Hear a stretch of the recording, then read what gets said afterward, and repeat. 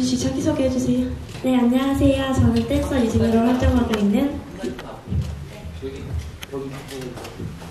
네, 안녕하세요. 저는 지금 댄서 유진으로 활동 중인 유진이라고 합니다. 반갑습니다.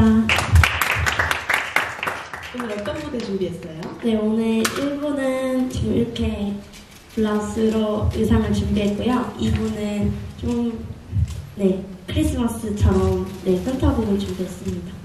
네, 기대하도록 하겠습니다. 그럼 바로 유진 양의 멋진 포토타임과 무대 보도록 할게요.